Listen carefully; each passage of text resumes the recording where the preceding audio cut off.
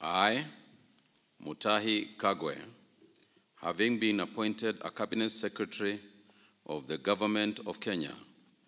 do swear that I will at all times be faithful to the Republic of Kenya, that I will obey,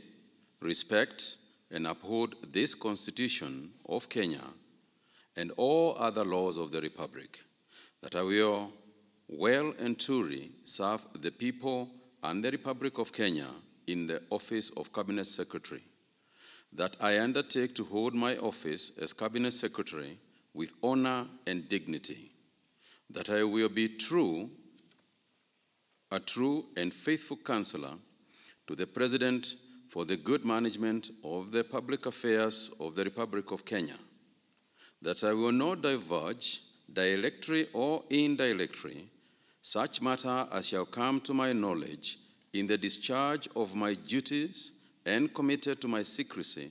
except as may be required for the due discharge of my duties as Cabinet Secretary, and that I will perform the functions of my office conscientiously and to the best of my ability, so help me God.